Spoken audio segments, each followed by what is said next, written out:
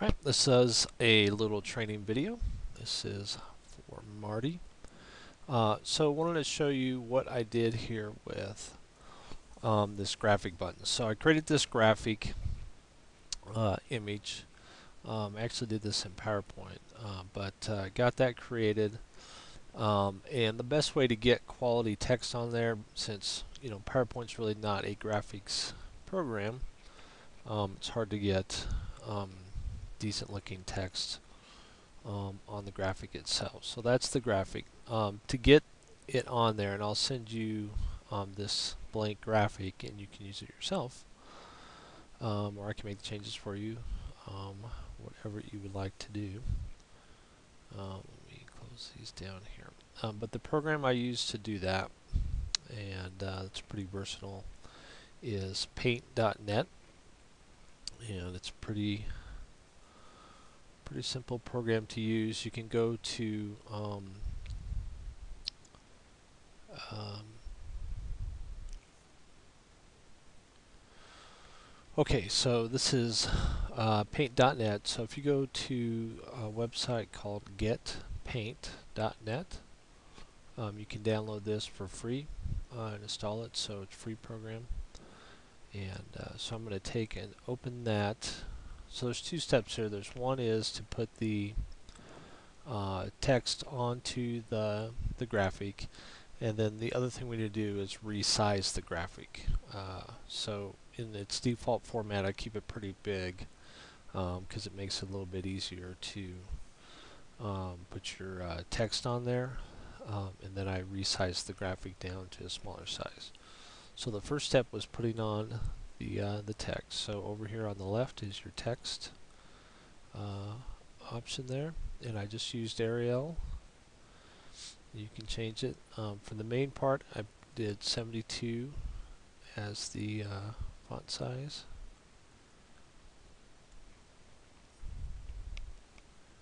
Um, come on, computer's running slow here. Alright, so 72. Text here. Alright, so you can put your text on there and uh, make changes and actually I usually will um, add a new layer. Alright, so there's that one. Now um, the text for the button there Again, I still used Arial. Uh, I changed it to a size 36. So the top end is, is 72. Um, 36 and I used bold. And I did caps lock. Click here. And then if you grab the little icon there, you can move it and center it on where you want it. Same with the top. You can, well, that's already done. So kind of the thing that happens is once you put it on there um, and you go to another layer, it's um, it's a little harder to switch back and forth, but there are ways to do that. Um, but basically that's it. That's all you have to do. Um, then what you want to do, so this is the background for button um, JPEG. Um, you just want to make sure that you save it as the file name that you want to use. so and save it as a JPEG.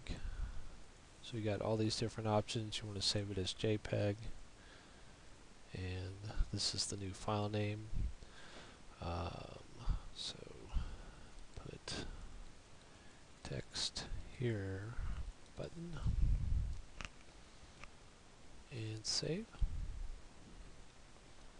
Okay, so it's going to ask me what quality. I always put it up at 100% highest quality. Click OK.